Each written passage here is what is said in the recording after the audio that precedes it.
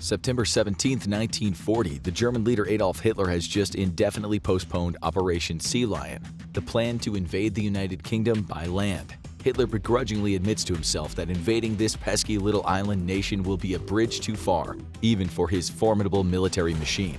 The question is, would an aircraft carrier have helped with this operation? If the answer is yes, why the hell didn't the Germans build one? Or why hadn't they already built one?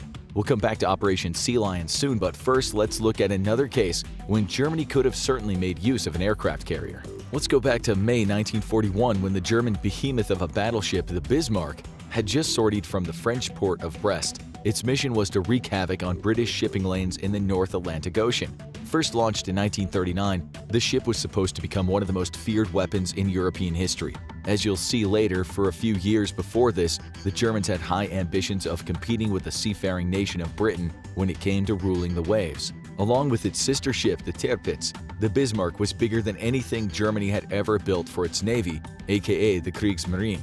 The two of them on paper were as good as anything seen in the whole of Europe. The Bismarck was a monster, armed with 8 38cm SK-C-34 guns, 12 15cm L-55 guns, 16 10.5cm L-65 guns, 16 3.7cm L-83 guns, and 12 2cm anti-aircraft cannons. A displacement of 50,300 tons, fully loaded, it was indeed bigger than anything in Europe at the time, carrying a total crew of around 2,200 officers and enlisted men.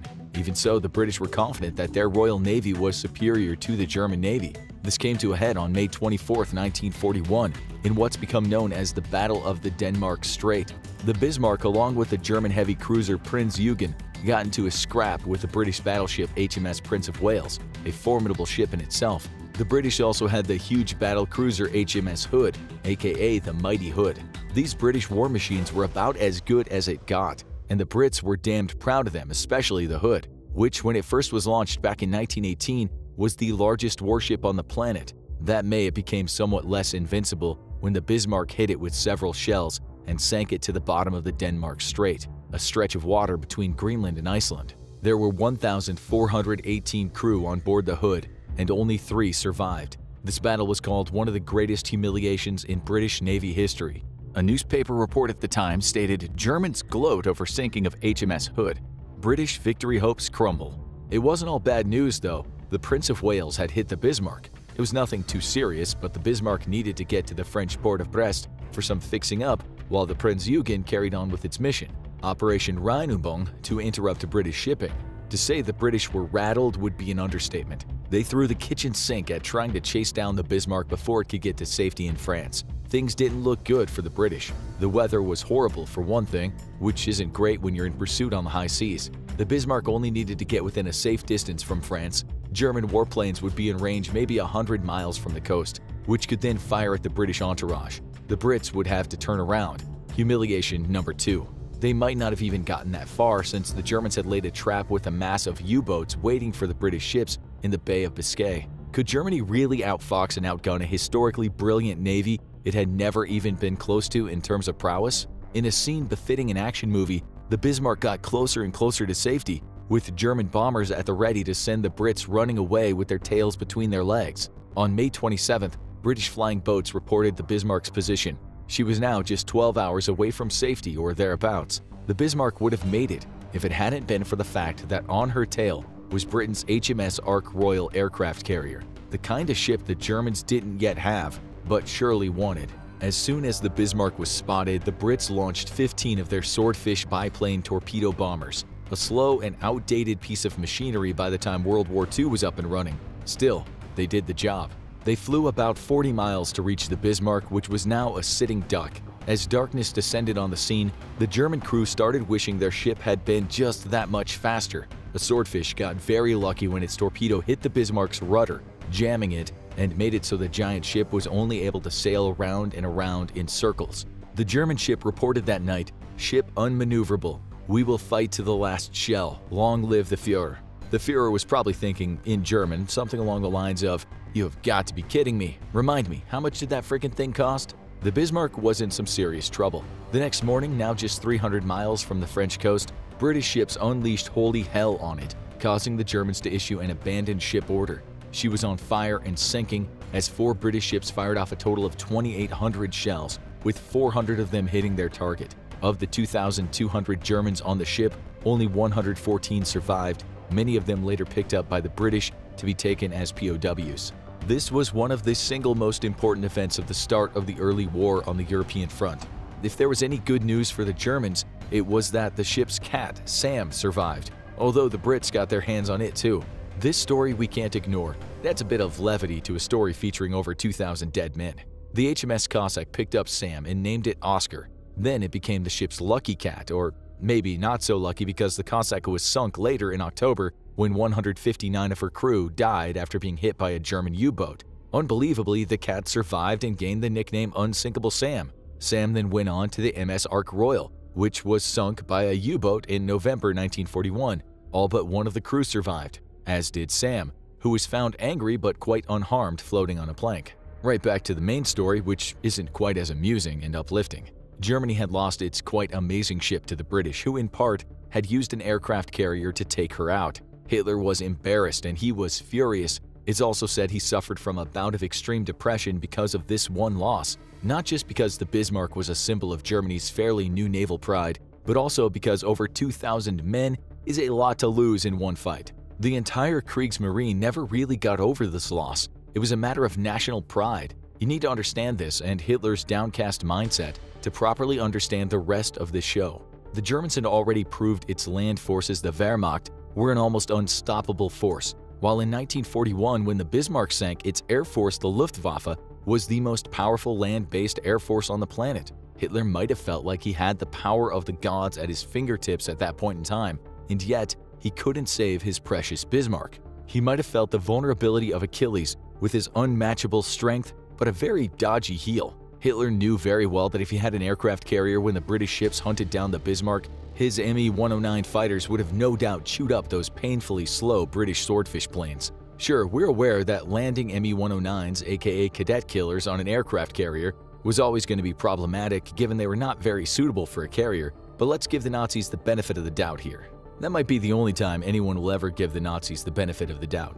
At the worst, the Germans would have been able to upset the Swordfish Party and then send them off packing back to the MS Ark Royal, enough for the Bismarck to get within 100 miles of the French coast and possibly for the British to fall into Hitler's trap. Had it gone that way, it would have been a remarkable moment in the war. Even today, there are analysts who say if Hitler had aircraft carriers in 1941, even just one or two of them, the war would have looked quite different. Had he sunk ships in that British hunting party, or at least turned them away, he would have had a very different mindset when it came to his navy.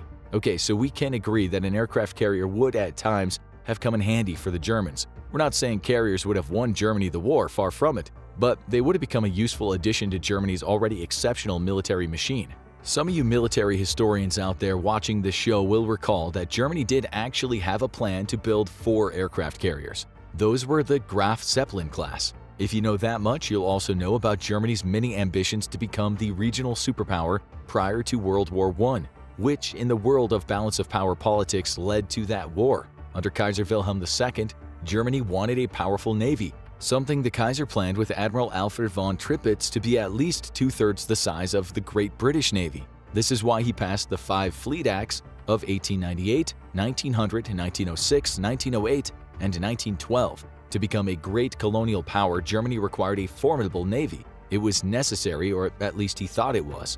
But as the balance of power shifted toward Germany, there was that war, which Germany lost only to be hit with crippling reparations. The Anglo-German naval race was no longer a thing because Germany had accepted limitations regarding the size of its navy, and even if they did try to sneakily build ships, such great hulks of machinery were not exactly easy to hide. In 1935, the Brits and the Germans signed the Anglo-German Naval Agreement, in part to improve relations between the nations in a balance of power that included France and the Soviet Union. The Brits inked this agreement without asking the French, which was a big deal considering it allowed Germany to build much more than was stated in the Treaty of Versailles. It was after this agreement was signed that Germany got to work, now with a focus on building those new aircraft carriers. This fell under Plan Z, Germany's 1939 expansion of the Kriegsmarine, something the country hoped would over several years lead to a German navy that was able to defeat the British Navy. The plan was to build 10 battleships, of which only four were finished in the end. It also considered building four aircraft carriers, of which none were finished. A whopping zero of the three battle cruisers ever saw service, and that's what you might call a failure. So, what went wrong? Building such massive machines and operating them is not like operating a sandwich shop. Germany struggled with the construction of the aircraft carriers. The country didn't have the requisite expertise, and neither did they have the raw materials and labor. Even if it were possible, Germany was never quite sure what it would do with aircraft carriers, so materials and labor were used elsewhere. In 1937, two of the aircraft carrier projects were shut down, but the other two remained.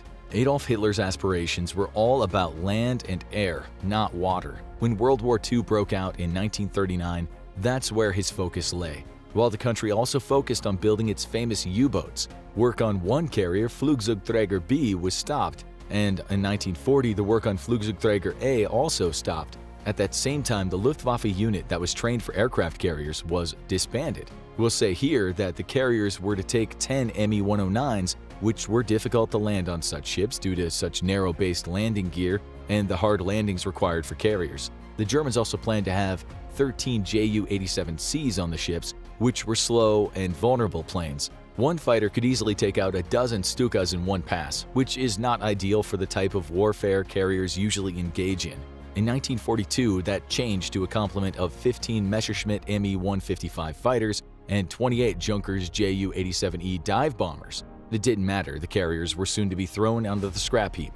Let's also remember that the only thing Germany was concerned about was getting the bang for its buck. The aircraft carrier program might have been expedited if the Germans thought it would help win the war. They obviously held back because many tens of thousands of tons of scarce steel had to be used intelligently not to mention all the fuel it would have taken to build those carriers. They could have built around 100 Type 7 U-boats with all that time, manpower, and material, not to mention all kinds of land weapons. Hitler finally put an end to his aircraft carrier ambitions and for that matter any of his previous surface fleet ambitions in 1943 after the Battle of the Barents Sea. This was when German ships tried to attack a British convoy off the coast of Norway. The convoy consisted of 14 British merchant ships carrying huge numbers of weapons and other war materials to the Soviet Union, where Hitler was now busy finding out why Napoleon had failed so badly there. Upsetting this convoy would have been a massive score for Germany, seeing as it included countless tons of fuel, as well as 202 tanks, 87 fighter planes, 33 bombers, and 2,046 other vehicles. A mass of British warships protected all of this. In short, it was a disaster for Germany, or at the very least an embarrassment. Shells were fired in the cold, dark night, exchanges that were as confusing as they were accurate. All of the 14 British ships made it safely to the Soviet Union. Hitler again had one of his temper tantrums. It said, with his veins almost popping out of his head, he screamed at the commander-in-chief of the Navy, Erich Raeder, for a whole one and a half hours. He then told Raeder that the battleships, battle cruisers, heavy cruisers, light cruisers, and a bunch of other ships were to be decommissioned. They would in effect become scrap. This included giving up any hope of finishing the aircraft carrier. All that steel, all those workers, all that fuel could go to building other machines, including U-boats, said Hitler. Raeder argued the decommissioning of our major assets will hand the enemy a substantial victory at no cost and will be seen by them as a lack of resolve. Hitler wasn't listening. All that hard work for nothing, thought Raeder, who soon handed in his resignation. Admiral Karl Donitz, the commander of the U-boat force, succeeded him. It was actually Donitz who became Germany's head of state after Hitler signed his will and did his famous death dive in the Führer bunker in Berlin as the Red Army guns and bombs drove him half mad. So Hitler gave up on the Kriegsmarine ever becoming anything that matched the British Navy. He threw in the towel, although he might have been a bit rash in the decision making. Even so, throwing in that much manpower and so many materials would have negatively affected his battle on the Eastern Front. He was stuck between a rock and a hard place. He might have been right to give up on his naval ambitions. The British Navy often made mincemeat out of German ships when the chance arose, there's nothing that suggests to us that even if Hitler had built at least one carrier, he could outperform the British Navy, a navy that was already leagues ahead of the Kriegsmarine in terms of operation, expertise, and the general running of a large navy.